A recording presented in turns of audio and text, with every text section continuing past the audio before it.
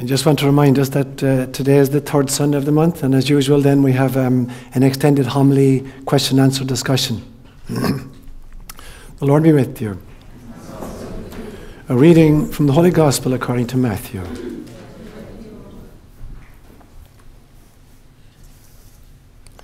This is how the birth of Jesus, the Messiah, came about. His mother Mary was pledged to be married to Joseph. But before they came together, she was found to be pregnant through the Holy Spirit. Because Joseph, her husband, was faithful to the law and yet did not want to expose her to public disgrace, he had in mind to divorce her quietly.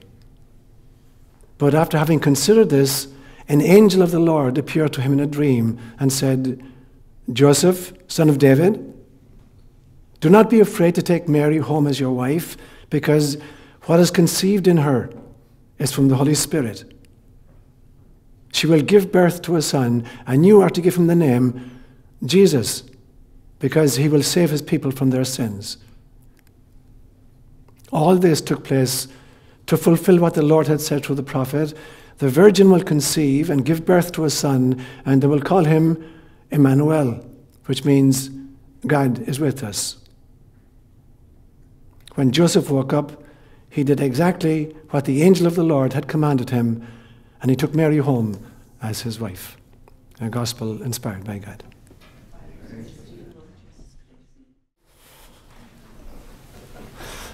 Was that encouragement, George, or was it damn it? Here we go again. Okay, okay. How many of you guys, when you were small kids, learned the prayer to the angel guardian? In Ireland, you know, every morning, you did a whole bunch of great. So every morning we start off, and every night before you go to bed, you say, Angel of God, my guardian dear, to whom God's love commits me here, ever this day be at my side, to light and guard, to rule and guide. Yeah? Yeah, you got that? Brilliant. Fabulous. So, more or less, let, us hear it in, let's hear it in Spanish. Carmencita. Ángel de mi guarda, that's guardian angel. Okay. Dulce compañía is sweet company. Brilliant. No me desampares, do not uh, forsake me or Brilliant. uh, Okay. ni de noche ni de día, Okay. neither day or night. Guys. Con Dios me acuesto, with God I Okay. go to bed. Con Dios me levanto, with God I awake. Brilliant. The, uh, la Virgen María, the Virgin Mary, Okay. me cubre con su manto, covers me with, with her Beautiful. Mental. manto. Awesome. Oh, it's beautiful of you. Okay. Go for it. Richard, did you learn it in French? No, yeah, I missed that one. You missed that one. What about German? Or say, you can say it in German. Go ahead, Brigitte. What word, what exactly do you want me to? Angel of God, my God. The, the prayer you learned as a little child about your angel guardian. Did you learn that prayer? Or did you have that in German? No, I don't remember. I no point in asking you, Ursula. You were raised Protestant. Okay. Looking away for the night. You know, say, say it for the night. Go on. Abends, wenn ich schlafen gehe, Okay. 14 Englein um mich stehen. Okay. Zwei zu meiner Rechten, zwei zu meiner Linken. Beautiful. Zwei zu meinen Häupten, zwei zu meinen Füßen, zwei, Okay. die mich leiden ins Paradies. Beautiful, Levine. Beautiful. Awesome. Kathleen, did you learn in Irish? No, in English, You learned it in English. Let's hear it. in California, In California. Let's, let's hear it in California English. angel of God, my guardian dear, to whom God, to whom God's Love. love permits me here, ever this day be at my side, to light, to harm, to rule. Okay. So are you leaving now? Are you? Yeah. Are you leaving? Have you had enough? No, Okay. Okay. We just. not my, any papers. You don't have any papers. Okay. Good. You're excused temporarily. Okay. okay. Bill. How about this one? Now I lay me down to sleep. I pray the Lord my soul to keep. If I should die before I wake, I pray the Lord my soul to take. It may be a good boy and amen. Okay. okay. Okay. There's all the versions we need. Um, so it's interesting. There are more people in the United States of America, according to a 2009 census uh, survey, that believe in angels than believe in global warming. The figures are 55% versus 36. 55% of Americans, according to a 2009 survey, believe in angels, and 36% believe in global warming. In Canada, a survey done in 2008 showed that 67% of Canadians believe in angels. And in fact, polls that are taken throughout the world, they, re- they represent that. A majority of people believe in angels. So angels is not some kind of, you know, a new age, you know, fashion. This is an old, old uh, belief system. And that's what I want to talk about today. I want to talk about angels. And I'm going to divide the homily into two sections. For the first section, I'm going to just do a quick review of some of the great wisdom traditions and what they had to say about angels. And then in the second section, I'm going to do some free thinking, my own ideas about uh, what angels are. So the first piece, I'm going to look just very briefly at six wisdom traditions. I'm going to have a quick look at um, Zoroastrianism, then Judaism, then Christianity, then Islam, then Mormonism, and then Theosophy. Just give us a flavor for some of the wisdom traditions. So I'll just say one thing about Zoroastrianism, you know, insofar as they speak of angels, but with the preface that Zoroastrianism had a huge impact on the evolution of Judaism and through Judaism on Christianity. Huge impact, particularly when the last two tribes of Israel were taken into exile in Babylon between 587 BCE and 529. They came under the, the influence of the great Persian religion, Zoroastrianism. Had a huge impact. And in fact, the entire third part of the Hebrew scriptures, what are called uh, the, the Ketubim or the writings, are hugely influenced by their sojourn in Babylon under the influence of Zoroastrianism. But as far as angels go, in Zoroastrianism, there's the belief system that every human being has what's called a fravashi. And a fravashi is a personal guardian angel. And so the, um, the Israelites would bring this teaching back into the land of Israel in 529, and there would still be lots of controversy you know, in Judaism about this issue right down to the time of Christ. So you had two huge theological parties in Israel at the time of Jesus. You had the Sadducees, who were the priestly theologians, who didn't believe in life after death, or spirits, or angels. And you had the Pharisee class, who were lay theologians that believed in all three. And in one famous occasion, the Sadducees would try to trip Jesus up on this question. But just to say a few words then about Judaism. Judaism uses four different terms to speak of angels. Um, the first term is B'nai Elohim. Now, Elohim is a very interesting word in Hebrew because it's a plural. And so initially, uh, Judaism was not monotheistic. Moses, for instance, was not a monotheist. Even when Moses gave us the commandments, the first of which said, First, I am the Lord your God, you're not allowed to have other gods in front of me. He was not advocating or preaching a monotheism, he was advocating monolatry, which is very different.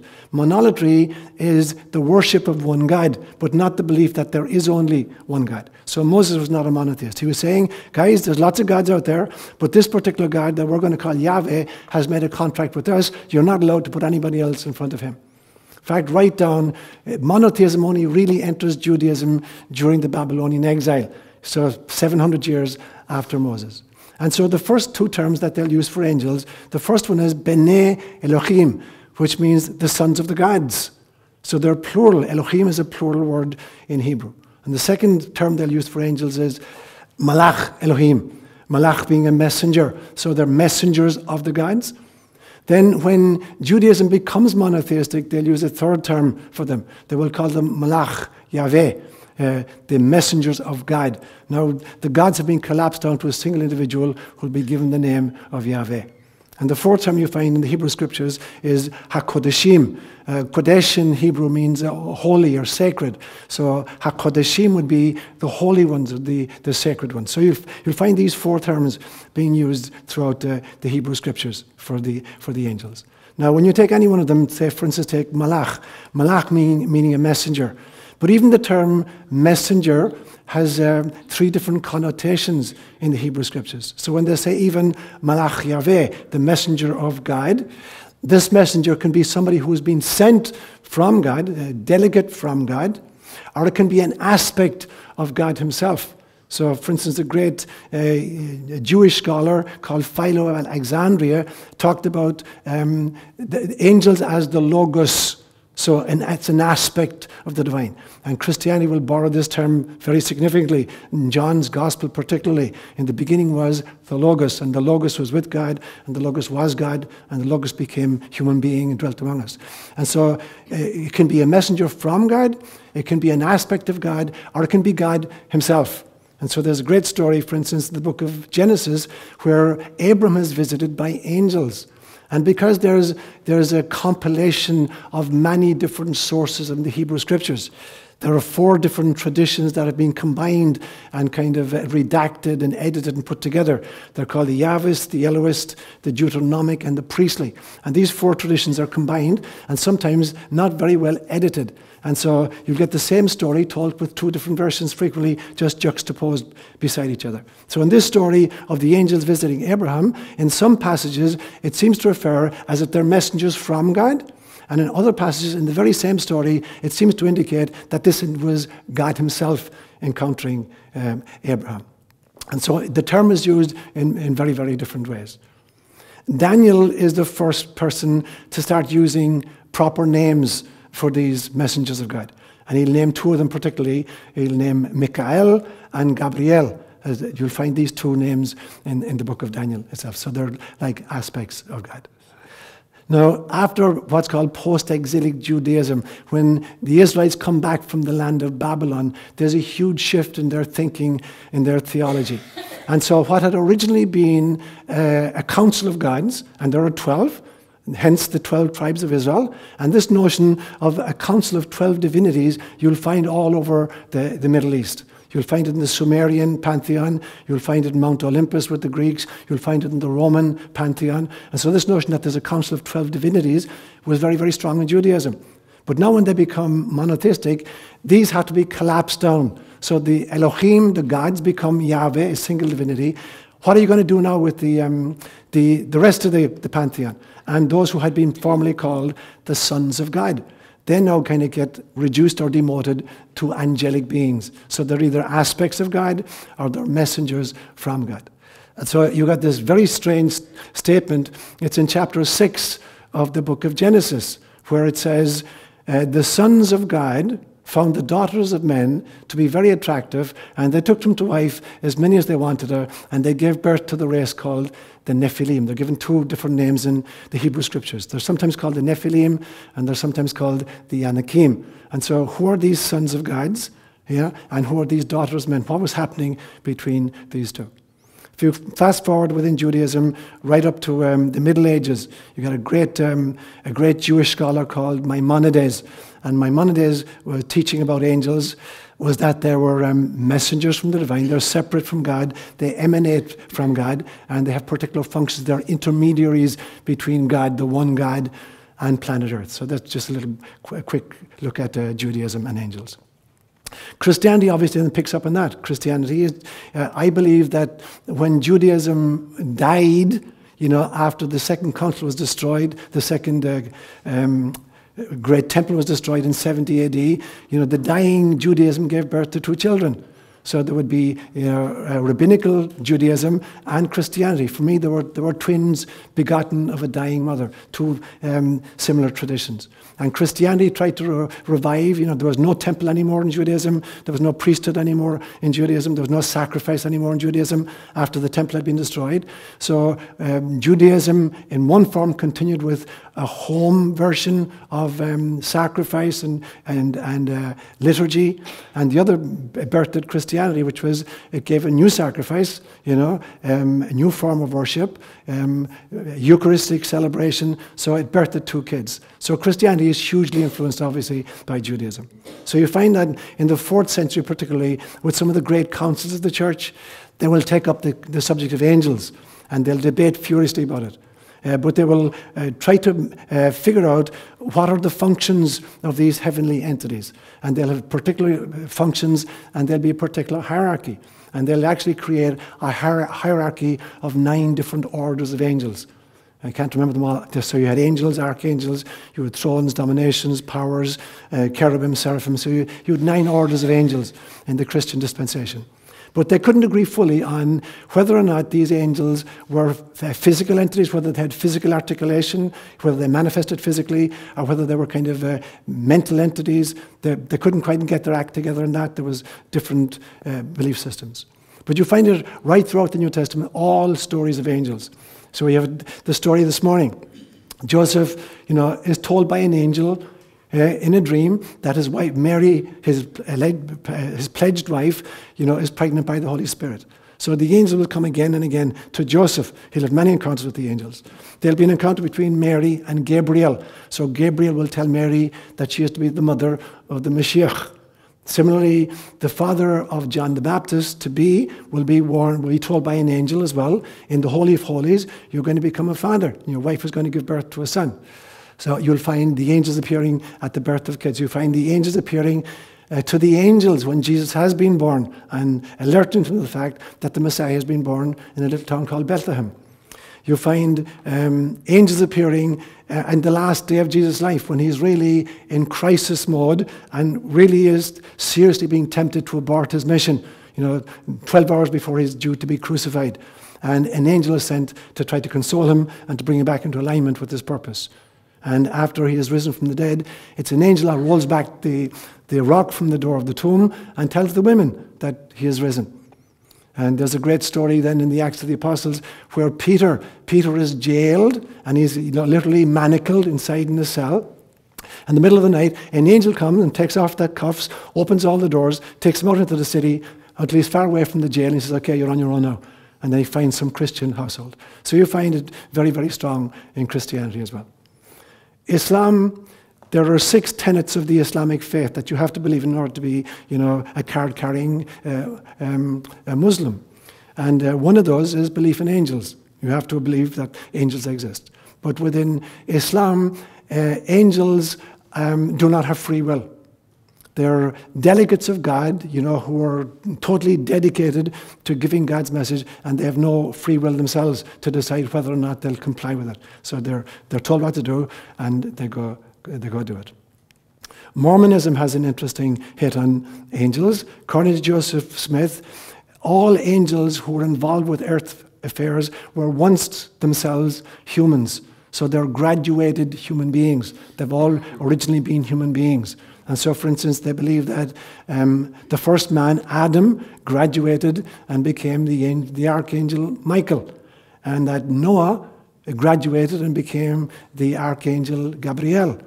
And that Moroni, who is a very important angel for Mormonism, that Moroni was actually a 5th century uh, pre Columbian American prophet warrior that then you graduated and became an angel. And the sixth uh, kind of tradition I want to just mention is um, theosophy. Theosophy is with this um, great system set in place by Madame Blavatsky and uh, Leadbeater. Um, they refer to angels uh, using the word typically devas. And they claim that there are two kinds that we encounter. There are uh, planetary angels and solar angels. So the planetary angels, according to theosophy, reside in the atmosphere literally, of the planets of our solar system. So obviously they're, they're not incarnated entities, so they're uh, living in some kind of etheric or astral realms, but they inhabit the atmospheres of the planets.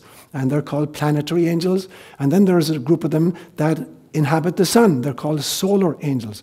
And obviously they're not physical beings. They wouldn't last, you know, very, very long in those kind of conditions. So they have astral or etheric existence. And their function, according to theosophy, is they actually guide the evolutionary process. So they're moving the entire evolutionary process forward. And they're involved even with the details of that process, literally helping plants to grow. And so they're involved right down to that, at the minutiae. And the belief system within theosophy was that if the third eye gets activated, the sixth chakra, if this gets activated, then you can see these entities.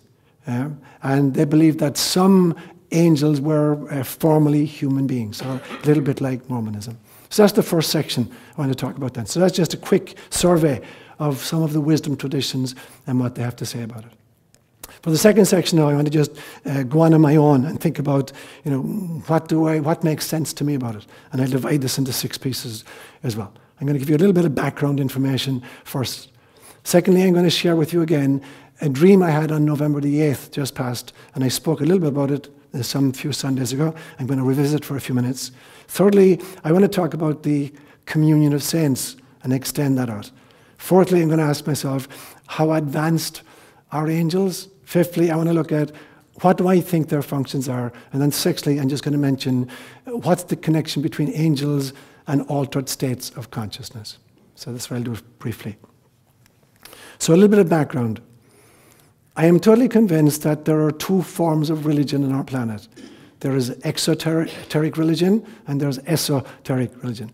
And I'm totally convinced that exoteric religion, you know, has been taught to us by other people or absorbed sociologically, whereas esoteric religion is an affair of the soul. It is not taught by anybody. It is a direct, you know, uh, influence of our soul self, our es- essence self. So they're very, very different from each other. Exoteric religion has to do with belief systems, dogma, creedal formulations, ritual, uh, biblical traditions, stuff like that. And it's always passed on by other people, our cultures to us. Whereas the esoteric, uh, mystical spirituality is literally, it is our birthright.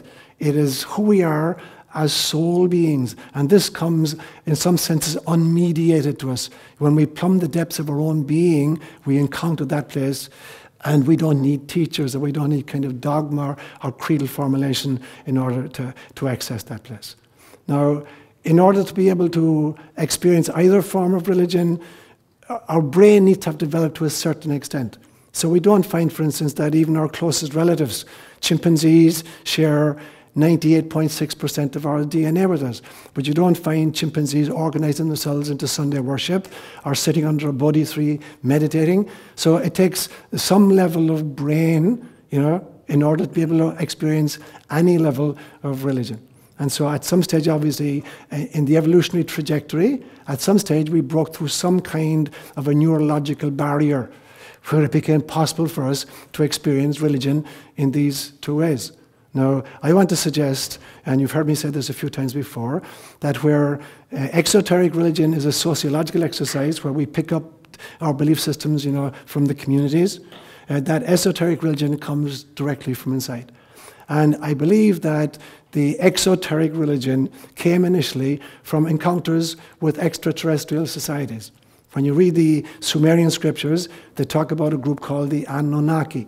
Now, there's a phenomenon in human culture called the uh, cargo cults, and it happens when a technologically sophisticated society happens upon technologically you know, unsophisticated natives. They begin to worship them. And this has happened in our own times. It happened in Micronesia during World War II, when Japanese pilots and when American pilots began to land on some of these islands. These people, the local people, thought literally they thought they were gods. They came down with all, this, all these kinds of goodies that they called cargo. And they watched these guys drill and they saw the equipment they had. And when they finally departed, a whole bunch of religions sprung up, which are called, you know, uh, generically, they're called the cargo cults. So these local people began to try to build airstrips, or they tried to create radio antenna using bamboo shoots or whatever to try to imitate the technology that they had seen in the belief system that they could bring back these gods for more cargo, so they get the goodies given back to them. So whenever a technologically sophisticated society meets a technologically unsophisticated society, the tendency is for them to be divinized. Now, according to the Sumerian legends, um, such a thing happened in our history uh, 445,000 years ago. Um, and the Hebrew scriptures will borrow hugely from this. And so these beings came down, uh, it seems, according to the stories, genetically modified us, took a group of Homo erectus hominins that they needed for work, upgraded them genetically so they were bright enough in order to be able to uh, work as gardeners and miners and eventually as soldiers in their own internecine warfare. And so, in some senses, they gave us the breakthrough neurologically that allowed us, as Homo sapiens, to be able to experience religion, both exoteric and esoteric. They taught us the exoteric because we were worshipping them. And this is what gets reflected in Judaism as the Elohim, the gods where there's a plurality and there's a council of 12. Whereas when Judaism becomes monotheistic, it collapses down to a single divinity. So that's much more like our instinctive realization that there is only there is only God, there is only source, there is only unity consciousness. And so, in some senses, this uh, upgrading of our intellect allowed us, for the first time ever, to experience religion of both kinds. But we've tended to follow more and to be indoctrinated more into the exoteric, whereas all the mystical uh, religions will invite us deeply into the core of our own being. Now, in that process, then, it seems to me, um, when we finally began to move into a, an inner realization, these uh, Council of Twelve become some kind of angelic beings. If we now believe only in a single divinity, what are we going to do with these gods whom we formerly worshipped as divine? Now they'll be kind of repositioned in some kind of a hierarchical system. So that's a little bit uh, of the background. Now, I shared with you a few weeks ago a very powerful dream I had on the, the 8th of November just passed. And I want to revisit it briefly uh, and speak about angels there. And in this uh, very, very powerful dream, it woke me up. It was so powerful. I woke up, turned on my light, went over and drew a diagram because it came in diagrammatic form to me. And it was um, this huge, huge, huge light source, literally sun sized light source, uh, beaming in all directions. But there's this long, long, long dark room in which there are no windows and no doors and no light source, this dark, dark, dark chamber. But somebody had uh, um, made apertures in one wall, and there were shafts of golden light streaming through. And um, in, in, front of each shaft of light was a prism that refracted it onto the other wall into red, orange, yellow, green, blue, indigo, and violet. And in the dream, um, what I was being told was that the source represents God. This undifferentiated light represents God. And that the wall with the apertures represented the Holy Spirit. And that the Holy Spirit is that aspect of God that self separates into these shafts of golden light, which I would call souls. And then the prism is the process of incarnation, where it takes the pure light of a soul and it refracts it onto a screen of reality uh, where we experience ourselves in seven different levels. There's red, orange, yellow, green, blue, indigo, violet. So there's our physicality, there's our etheric nature, there's our astral body, our emotional body, there's our mental body, there's our causal body, there's our uh, Atman, and there's uh, uh, Brahman, Brahmanic consciousness. So we experience ourselves at seven different levels. Unfortunately, cultures come in and they impose a filter between the prism and the screen, and they filter out a whole bunch of colors. So when we live in this culture, for instance, the belief is there is only one color, red, our physicality, you know, and that's it. There's nothing else. And when we die, that's kaput. Now, in this uh, dream vision, what I'm seeing as well is that there were many different kinds of apertures, different shapes. Sometimes it was just a little round hole, sometimes it was a square, sometimes a diamond, sometimes a spiral. And so the shaft of light, the light is all the same light. It's all God. But the shafts, the intensities are very, very different. And so angels for me are a particular configuration of this light. Now, they're much more intense than we experience ourselves. So, in some senses, um, angels are to human beings like laser lights are to incandescent bulbs, or maybe like starlight is to a firefly. So, it's the same light. The light of a star and the light of a firefly are exactly the same light. They're all coming from source, but they have totally different intensities. And so, in some senses, the angels are particular configurations of this light, but they're the same light that radiates inside in your soul and my soul. And when we know how to meditate and go back and go back through the apertures into unity consciousness, there is only the one light. So, angels are just a particular manifestation or intensification of that kind of light. Which brings me then to the notion of communion of saints. And I addressed this a few weeks ago as well.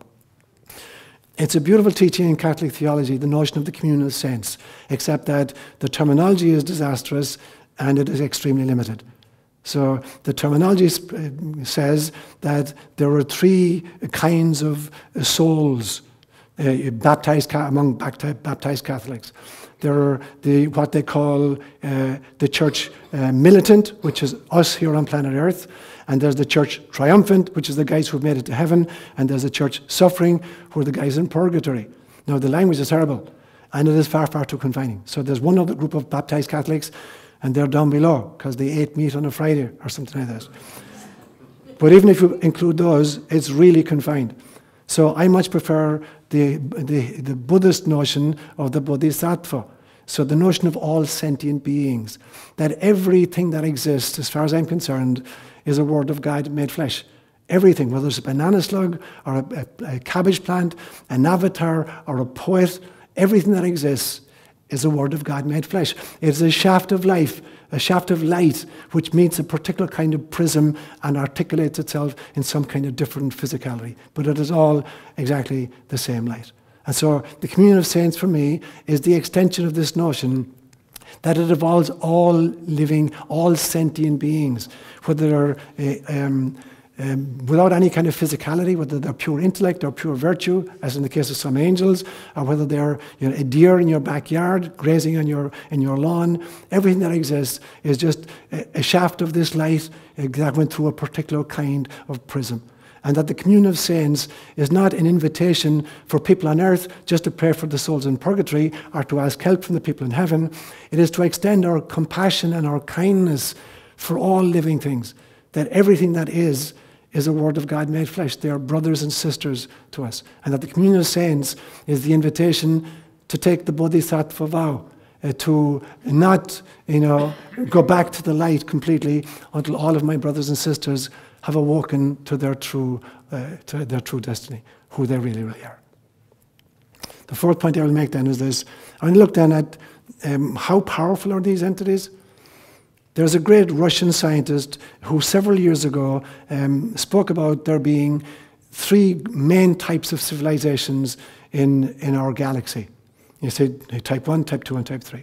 Type 1, he suggested, would be civilizations that have learned to harness the energies of their own planet and to do so ecologically. And so they're, uh, they've learned how to harvest their tides, wind, uh, sun, but they do it very, very responsibly and ecologically. He would call those a type 1 civilization. A type 2 civilization, he would call a civilization that managed to do that for an entire solar system. So that they've harnessed the energy of an entire solar system and they're doing it ecologically and responsibly. And a type 3 would be a civilization that has indeed mastered its entire galaxy and has harnessed the, gal- energies of the galaxy again responsibly and again ecologically. Now, in some senses, it seems to me that angels fit somewhere in this schemata. that they're energies, they're entities of some kind who've learned uh, to live with extraordinary harmony in their environments and to harness their environments for their needs, but to do it in an ecologically responsible fashion. And so they do this really, really beautifully and really, really powerfully. So that's part of their grace, greatness, it seems to me. I think that there are beings who are moving through the two most important stages of uh, evolution into enlightenment, as far as I'm concerned, is the movement from free will to freedom and the movement from self concern to compassion. Now, we all have to start off uh, being self concerned. A little infant, you know, if it's not self concerned, it won't survive the first few moments of life. If it doesn't learn how to breathe and how to uh, attach to a nipple, it won't survive. So, self concern is a very important part of the journey. But self concern has to uh, evolve into compassion because I have to, at some stage, recognize that the self which is concerned about itself, in fact, is just a shaft of the light from the same source. And the same light is radiating through my neighbor and through my enemy and through all life forms. And so compassion is the natural extension of self concern, predicated on the notion that the self is, is the light. So that's the first movement of evolution. And the second movement is from free will to freedom.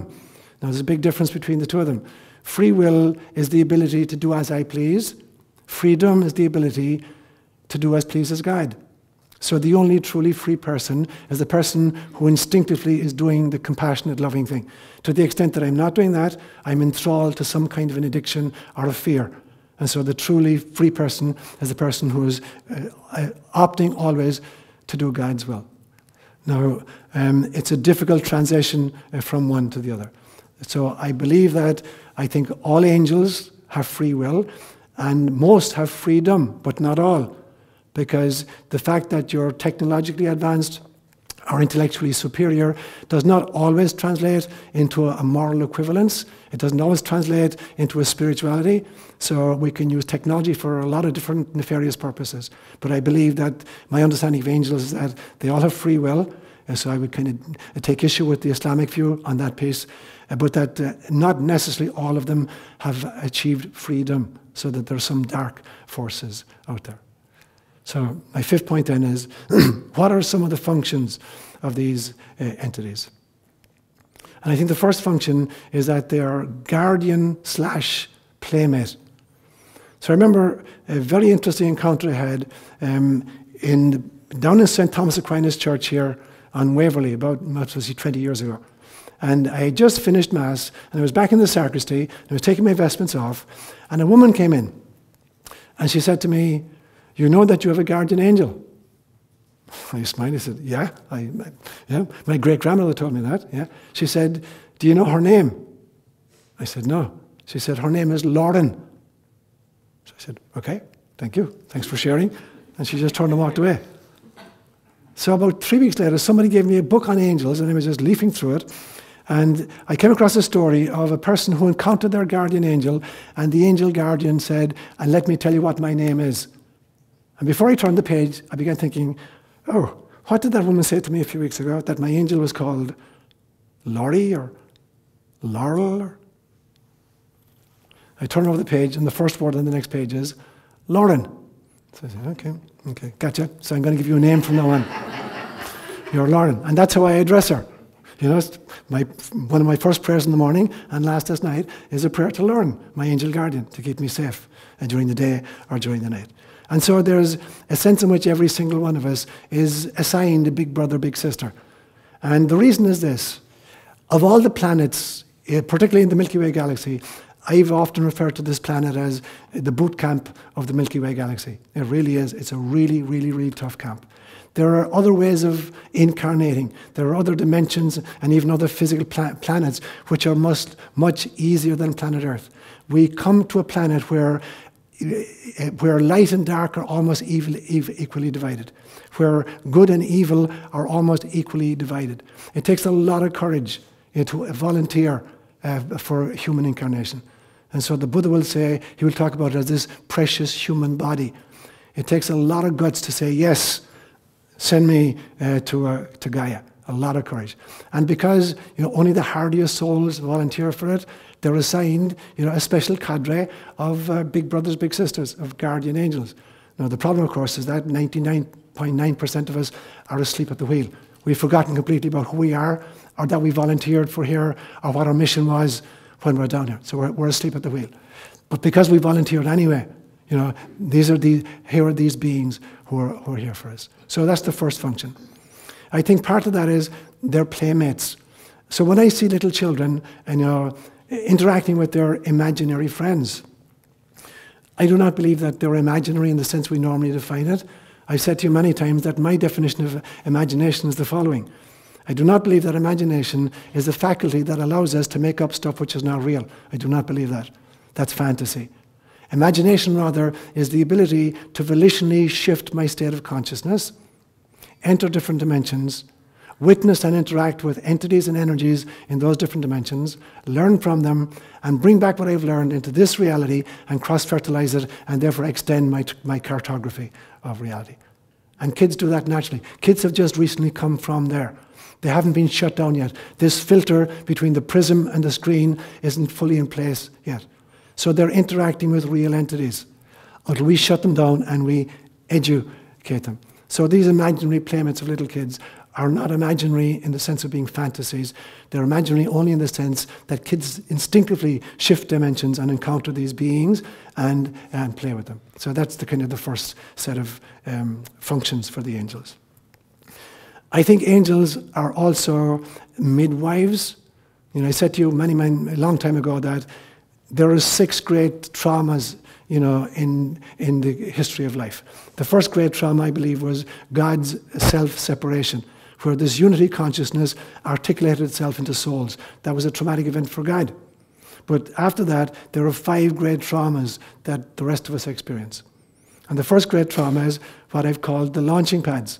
It is when a soul volunteers for incarnation, setting aside the limitless possibility of living in the eternal now with cosmic consciousness and settling instead for being crushed claustrophobically into a tiny little fetus having a tiny little laptop to operate from and being subjected to the notion of chronology and time, and moreover, having amnesia for who we really are you know, and why we've come. So the launching pad is when we take the jump. We volunteered for incarnation, and now we're about to jump. That's a, an extraordinary traumatic time in the life of any soul. And there are angels out there to midwife us through that process. The second great trauma, I believe, is what I call the docking, when the soul docks with the embryo or the fetus. And I don't necessarily believe that a soul comes in at the moment of conception. It can come in at any stage of the pregnancy. But when it finally docks with the evolving embryo or fetus, it's now literally trying to figure out how does this machine work? How do I get energy into this hand? You know, how do I curl my toe? You know, how do I stick my tongue out? And so the little child, little embryo, uh, you know, the soul is trying to learn how to work this space out. That's really frustrating for a soul. The angels are midwifing that process. When it comes to the birth process, and now we have to kind of claustrophobically spelunk through a cave, where through you know, contractions pushing us forward, that's really, really you know, traumatic. Again, the angels are present at that stage. The fourth one is the evolution of the ego when at about the age of eight months, that the little baby finally realizes horrifically there is not just one organism here called the mother slash baby, of which I'm in charge. There are two organisms, and she has all the power. She can walk away. She's like a, a, a, train and a carriage. She can uncouple and just go off down the tracks, and I'm left to my own. That is a horrifically traumatic event for a child. Angels are present at that. And the final great trauma is what we call death is when we shuffle off this mortal coil. Now that we've forgotten about who we really are and we've become identified with the spacesuit, you know, letting go of the spacesuit and re-engaging with our etheric, astral, uh, mental, causal, Atman and Brahmanic consciousness, that's really traumatic. The angels are present for that. So a huge function of them is to midwife us through these great traumas in our life. I think uh, another function of them is that they are indeed messengers and that particularly they come at times of great crisis, not just for individuals, but for nations or entire communities, even for the global community. And that there has never been a significant shift in consciousness which has not been precipitated by some kind of a, a, a global or a cosmic uh, uh, catharsis or crisis. So at these periods of time, the angels come, you know, to tell us, you know, this is how birth happens. This is how evolution occurs. You know, you got to stay with the with the process here. So they're messengers of this uh, process for us. So th- they are the functions. I think as well that depending on the complexity of the system, whether it's an individual, uh, uh, individual human being, or whether it's a planet, or whether it's a galaxy, or even a cosmos, that angels of greater and greater, greater sophistication, you know, are big brother, big sister to that particular system. Uh, um, a cosmic system or a galactic system or a planetary system or a solar system or an individual organism, that there are angels at various stages shepherding this evolutionary process forward. And the last point I want to make is this. It's fascinating to me that in all of the biblical accounts, uh, when you have um, angelic encounters, that they either happen when the person is in an altered state of consciousness to begin with, or they create an altered state of consciousness when they occur. And because shifting your state of consciousness, you know, if you're not practicing it a lot, can be really, really scary. And so the first thing an angel almost always says in a biblical encounter is, do not be afraid. Do not be afraid. You know, and we're shifting your state of consciousness really dramatically. We're allowing you now to experience totally different kinds of reality. It's going to blow your circuits, literally blow your circuits. Even your neuronal circuitry is going to be temporarily blown. You know, but do not be afraid. We're coming with love and coming with peace. So that has to be said many, many times. And so the secret then to angelic encounters, as it is indeed to any kind of mystical experiences, is to have the courage to shift your state of consciousness. Whether you do that by spending time in nature, or you do it by meditation, or you do it by spending time with little children, that you have to have the courage to volitionally shift your state of consciousness in order to be in the space in which these angelic or mystical experiences can occur. Thank you, guys. So we'll open it up to question and answer discussion. Johanna. You just grab the mic. I was just going to talk about a practice that I used to do um, when I lived here in Palo Alto in the 70s. Okay. And my sister had just died, and I was going through a very difficult divorce, and times emotionally were very hard for me. And a roommate of mine had a, a little book, and it talked about ways to bring the angels to you, and I focused on the joy angels Brilliant, which was you took a little flower every day. Okay. So I'd go find a little tiny flower from somewhere, put it in water, and offer it to the joy angels. Beautiful, Lorraine. Uh, they can, you can ask for angels to come. Absolutely, absolutely. That's beautiful, Johanna. And I think that I think angels uh, totally uh, work with the prime directive notion that they do not intervene without being invited in. And but there are many ways in which we invite people in. So sometimes we can do this unconsciously. Anybody who's hurting, you know, ipso facto, is reaching out for some kind of assistance, even if they're doing it unconsciously or subconsciously. Um, so they can move in in those instances, but they don't interfere.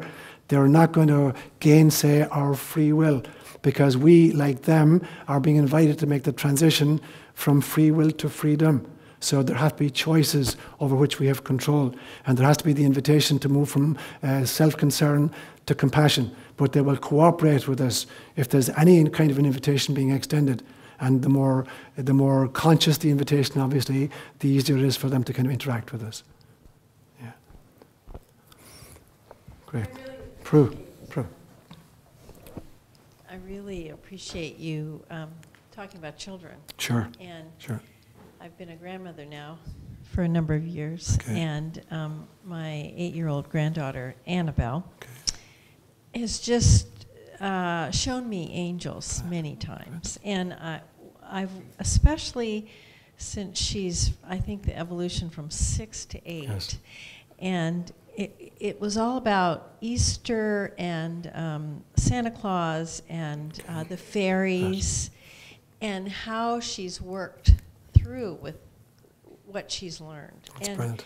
and um, uh, Santa Claus is real. Yes. And now that she's eight, Yes. the Santa Clauses that are down here, Yes. they're messengers. Yes. And they take, they write things down, Yes. and they let Santa Claus Right. know Right. what what she wants. That's what she told me That's brilliant. two days ago. And um, she had she has fairies in the backyard that work in the garden. Beautiful.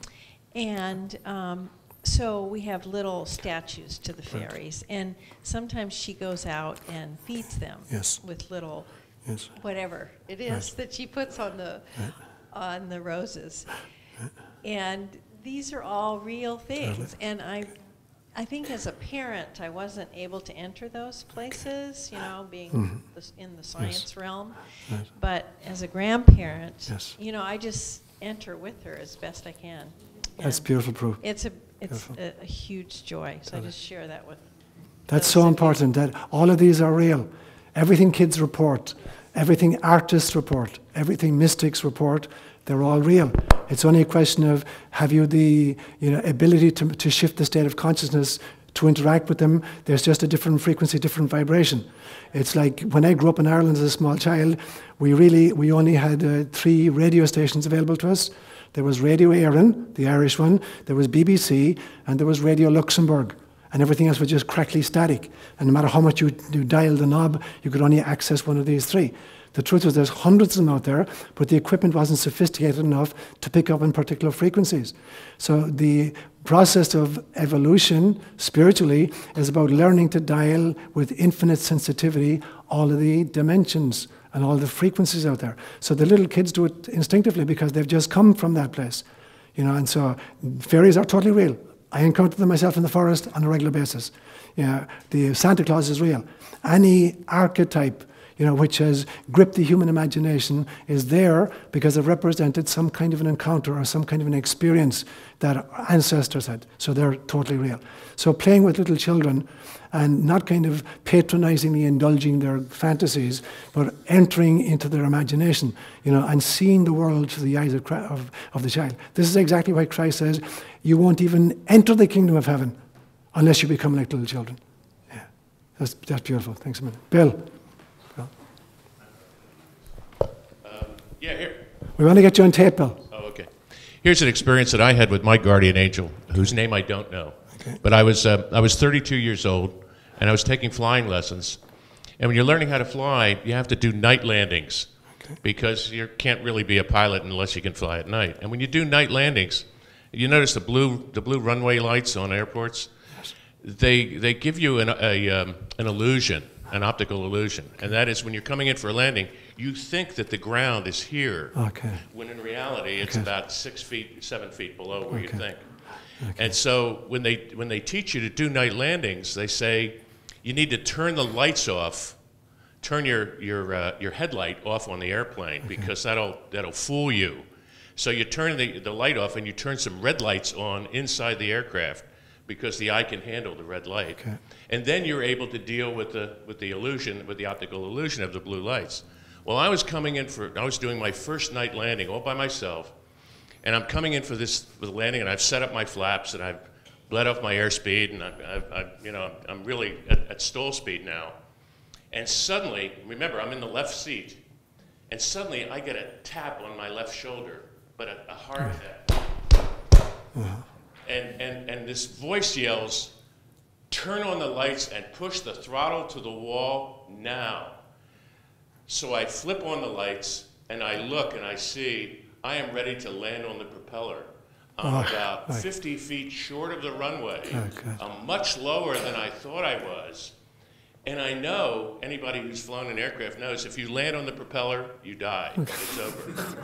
And so, so I flipped on the lights and I pushed the throttle to the wall. And of course, the plane mushed because, because I was underneath the power curve. And so the plane wanted to take off, but it really didn't have enough uh, angle of attack to do that. And so I mushed and I banged the tail on the ground a a couple of times, and then finally the plane just kind of uh, picked up, and I was able to do a go round and do my and do my landing. And let me tell you something: those taps on the shoulder, holy mackerel! It was like being hit with a hatchet, and and that was a very real, real experience to me, and that's why I'm here today because of those two taps. We're, we're real happy, Bill. Thank you so much, buddy. Thank you, buddy. Patricia was first, and then Patrice, and then George. You mentioned that um, our brains enter an altered state of consciousness. And I think um, everybody in this room has experienced that. I know that I have um, at those times of physical pain Yes. with the disease Yes. or Yes. mental pain with the disease. And the angels come in crises. Mhm. Yes. And you said something really important. You said, do not fear. Yes. Absolutely, Patricia. Thank you so much, Levine. Thanks a minute. Patrice, and then George, and then Alicia.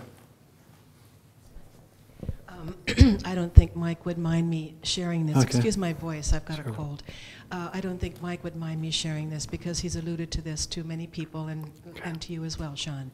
But when this little baby was born 8 Uh-huh. months ago, he would cry Yes. two or three times a day. And I think, oh my God, what, you know, what is going on here? Uh-huh. But over time, it still happens, not Uh-huh. two or three times, but maybe once a day. He really, he really senses Yes. this baby's uh, Distress. joy and Okay. source. Right. And it's been beautiful to That's watch. It's no longer frightening. At first, it was disconcerting, but Oh, wow. we all we understand it now. So you're saying Mike was the one crying during the day? Ye- yes, that's yes. beautiful. He just completely That's beautiful. went into Okay. that space. Got totally will. touched by his Yeah, soul. It's been beautiful to watch, but at first it was disconcerting. That's great, So, Patrice. thank. Thanks a million, Levine. Thank you, Pat. George, and then Alicia. About thir- 13 years ago, I went to, I think I, spe- I spoke to you about this before, but I'd like to share it. 13 years ago, I was at a spiritual sanctuary in Hawaii where it was all silence except when I worked with my teachers. Beautiful, 3,000 feet above Hilo. And um, after about six days, my teacher was talking to me and he said, Your guardian angel standing right, he said, Your guide Right. is standing right Okay. behind you, and his name is Jonathan. And Jonathan means a lot to me because the book Jonathan Livingston Seagull said, Dare to be everything you can be. Brilliant. And, uh, and we spoke, and, and I won't go into all of that. And uh, I walked in the library and I opened the book Conversations with God. Mm-hmm. And the first thing I saw was, how do I know I'm not imagining you? Mm-hmm. And the answer is, how else Yes. can Brilliant. I communicate with you Brilliant. except through your imagination? Brilliant. Now, the longer I got away from that, the more I doubted it. The more I thought, no, no, this couldn't have happened. Right. Then you spoke one day about the three levels Okay. the physical level, Okay. the, physic- the, the, the physical level, the energy level, and the spiritual level. Mm-hmm. Okay. And that helped me to realize, Right, my. God, I, this, this did happen to me. I've tried, I went back trying to see him again, but I think I was working too hard. Okay. Because I've never seen him again, but, but I know he's there, so I know there's other life. Okay. Uh, second thing, I'll be quick about this. You say the Word of God made flesh. Yes. You may not want to talk about it today, or you might have talked about it before, but you give a sermon on what you mean by the Word of God Okay. made flesh. Okay, make a quick answer to that before we go over to Alicia. So there's this beautiful passage in the prologue to John's Gospel where it says, In the beginning was the Word, and the Word was with God, and the Word was God, and the Word became flesh and dwelt among us. Now, um, that is absolutely accurate, except it is completely limited. Um, Christian theology has latched onto this as um, a theology of Jesus and that Jesus, as the second person of the Blessed Trinity, was the only entity uh, for, of, uh, of whom that is uh, correct. And I don't believe that to be the case at all. That everything that exists, as far as I'm concerned, is a Word of God made flesh. So the, the denser the realms are, the longer it takes for a thought to translate into physicality but it eventually does. And so this, um, this seat here, this wooden object, uh, originally existed as a thought in some carpenter's mind. And so the thought gave birth to this. And in fact, the materials of which it's composed and the machines of which, it was, which were used to make it were thought forms. But when human beings, you know, a lot of human beings come to the same thought form with some consistency and intensity, it gets translated into physical articulation. But there's a time lapse. There's a time, you know, a deferred time. Because if we were able to translate every idle thought into physicality, the freeways would be littered with dead bodies. Because every time somebody cut me off and we swear an obscenity at them, you know, the guy would die. So there's, there's the principle of the deferred outcome when you live in very dense bodies with very dense minds. When you live in subtler, subtler realms, thoughts translate immediately into articulation. So nothing is obviously as subtle and as causal as, as source. So for God to be, for God to think, is for God to create, or for God to emanate or to manifest. So every thought of God manifests immediately, uh, either in a physical form, into a spirit form, into a virtue form, or whatever. And so you look around you, and everything you find is a word of God made flesh. The word that God had in the mind at some stage got infleshed or incarnated. There is nothing that is not a word of God made flesh. Everything was a thought form in source that got articulated into either physicality or intellectuality or emotionality or, or, or pure virtue. So we got to Alicia, and then Jean. Um, so I guess my Will question. you hold it up closer, Alicia? Closer? Yeah. Is that better? Okay. Yeah. Um, so my question is, um, I believe in reincarnation, and I, I was seven years old when I realized I was back Wow, for wow. myself. And I know people say, "Oh, you don't know when you reincarnate, you don't have memory of your past," and I did. Good for you. And um, Good for you. so I've always known that That's brilliant. uh, you reincarnate, and I grew up Catholic, so that wasn't Difficult. normal. I never said anything. Conflict of interest. Yes, conflict of interest. Okay. Um, but I also know my mom believes strongly in angels, and she has all these books on angels and communicating with your angel. And I happened to be, I ran into a book and I started to read it, and I tried. It tells you how to communicate, and it goes through a process, and like you meditate. And um, I heard the, I heard—I wanted to hear my guardian angel, and the voice came and said, you know, said my name, but Okay. it freaked me out, and Wow, I didn't. I just was like, okay, this is like weird. Okay. Um, but my question is, when you reincarnate, do you have the same angel, or are you assigned a different angel?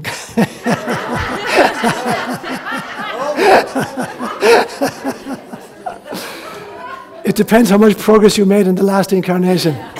if you really hit a home run, you're going to get the, a much more evolved being looking after you. I'm, I'm only, I'm only semi facetious. Obviously, as every um, organism or every energy form, you know, moves, you know, toward enlightenment, there will be different levels of complexity, different need different levels of teaching. And so, for instance, without in any way being judgmental, you know, a university professor and a kindergarten teacher, in some senses, uh, it calls for a different level of pedagogy or uh, information. And so, as we move in the enlightenment, we're going to call upon guides who are more practiced or more kind of au fait with the issues that we will be encountering. But I want to just make one comment to you, Alicia. Um, last Sunday was the kids' mass, and all of the kids performed in various ways. Alicia wrote a story that she had written herself, and her kids illustrated it. Now, I guarantee to you that the inspiration for that was a brilliant story, and I've encouraged you to get it published. The inspiration for that came from your angelic guides. So there's, you're channeling this material. The difference between real art and fake art, one is channeled and the other is an artifact of ego. And so you're obviously in touch still with the, your guide form. So continue to develop and to kind of and um, um, develop that particular gift that you have. Brilliant. Jean, and then Pat.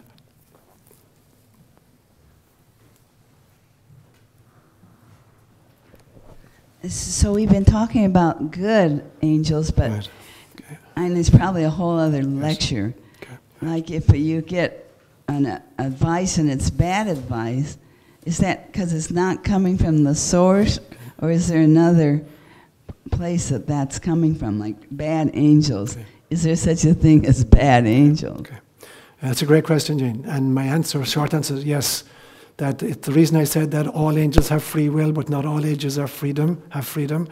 Uh, um, technological evolution or even intellectual development is no guarantee of moral, um, kind of uh, ethical behavior.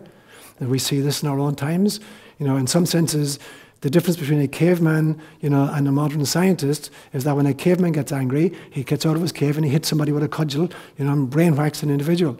When a modern scientist, you know, allied to the military-industrial complex, develops an intercontinental ballistic missile, you know, and gets angry, one nation gets angry and fires this across, you're talking about the deaths of millions of people. So the the uh, kind of energy is the same, but the technology is, is very, very different. So technological devel- development or even intellectual development is no guarantee of moral development. So yes, I believe that there are there are entities because they're being given free will. You cannot get to freedom without having free will.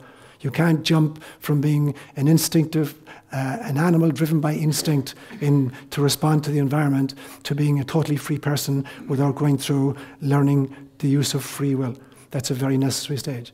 And free will is meaningless. It's a charade unless there's opportunities for making bad choices. And so, because the opportunities are there, some beings make bad choices. And if you're intellectually very, very bright, your bad choices can be devastating.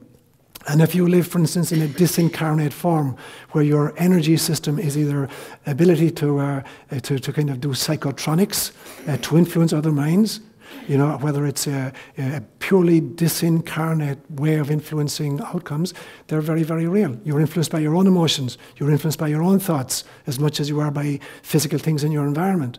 And so I, I believe that there are entities who have consistently chosen self concern over compassion. And that leads to greed and leads to violence and it leads to kind of um, um, predatory kinds of behavior. And so it is very important for us as you stand at the entrance to any portal, you have to make sure that you're surrounded with light and that you're calling in energies and entities, you know, which are beings of light and beings of love. Because once you enter a portal, there's no guarantee of what you're going to encounter on the way. And you experience this every night when you dream. You know, sometimes you're going to have really difficult dreams, nightmares even occasionally, because you're traveling astrally through two realms. The lower astral realm, where there are disincarnated, discombobulated souls who haven't moved towards the light because they're confused, you're going to encounter some of those. And the higher astral realm is the realm of the angels. So you have to be really, really careful that you're protected, which is why we were taught Angel of God, my guardian dear, through whom this uh, light comes to hear. Ever this night be at my side to light and guard, to rule and guide. You really need to, to safari with, uh, with uh, light companions. So somebody said that, Pat, and then Brigitte.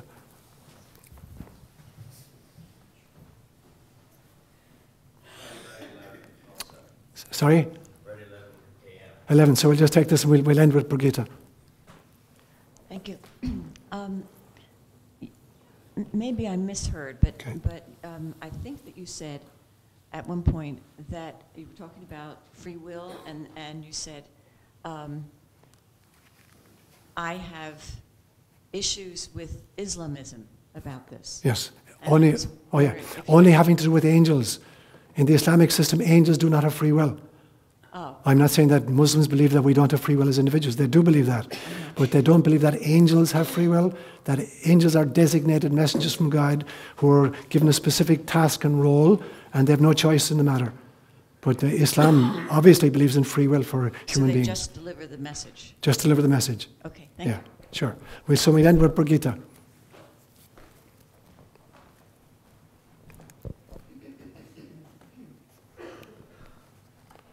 Sean, you said that you, you- you said that uh, angels were believed to have been once humans.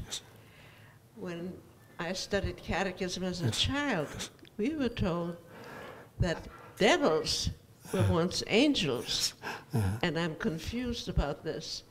Uh, could you explain? could you, uh, you know, Lucifer is- Yeah. means bearer, Bearer of of light, light. yeah. So Lucifer must have disobeyed. What exactly did they do to deserve to be made devils? Okay, okay. So, obviously, our languaging is pejorative, you know. So what we have to look at is kind of the uh, the cosmology of how reality is experienced. So when we, I was talking to Jean, that you know, if free will ent- once free will enters the the equation, there is the possibility for good or bad. Before free will enters it, it's not possible. So I've told this story years ago. I don't know if you'll remember it or not. I was down in, um, when I was living in St. Aloysius Church down here, there was a little park nearby that I used to go down to regularly. And I go into the park one day, and there's an adult female with two little children walking in the park a little boy about five and a little girl about seven. And all of a sudden, a baby squirrel fell out of the tree. And the female adult ran over and caught it and started whacking it off the ground. And the kids are screaming, Don't stop, stop, stop, stop doing that. So I rush in and I rescue the little squirrel. It died anyway. I buried it actually in the, in the backyard of St. Aloysius Church. It's still there, I presume. Now, do you think that was that female adult did a morally bad thing? What would you say? Okay. If I give you one more piece of information and ask you the same question, this female adult was an Alsatian dog. Does that change the equation? So dogs don't have free will. Dogs are driven by instinct, pretty much. You know, you see an animal, you're a predator, you go for it. So free will and morality only enter the equation. uh, Morality only enters the equation with the advent of free will. So a little infant, you know, is neither moral nor immoral. It is amoral. It still hasn't got the cognitive equipment to make uh, um, informed decisions. It'll, come around age six or seven or whatever. And so uh, only with the advent of free will is our moral decisions possible. Um, but once moral decisions are possible, we can make good choices or bad choices. If we make choices for selfishness on a regular basis, you know, it becomes dark energy. So if we start throwing pejoratives at that and calling them demons or whatever, it's not helping the equation. It's identifying the result of making choices. Uh, so it just means that when uh, they're all beings of light, Lucifer, as the light carrier, is a shaft of light that came through an aperture in that wall. But at some stage, this entity, you know, archetypally at least, is making choices for selfishness. And that, you know, then in some senses creates the notion of fallen angels. Now, there's actually, there's a biblical idea of the fallen angel which is slightly different. And that comes from Genesis chapter 6.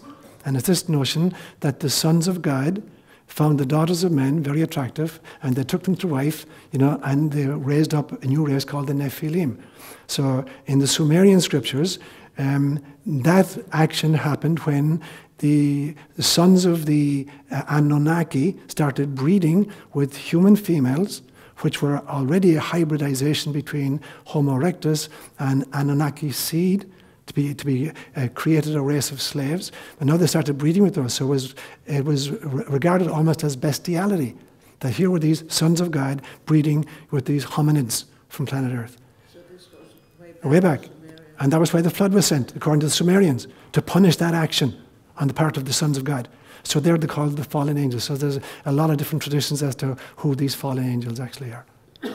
So, guys, I thank you so much for your patience.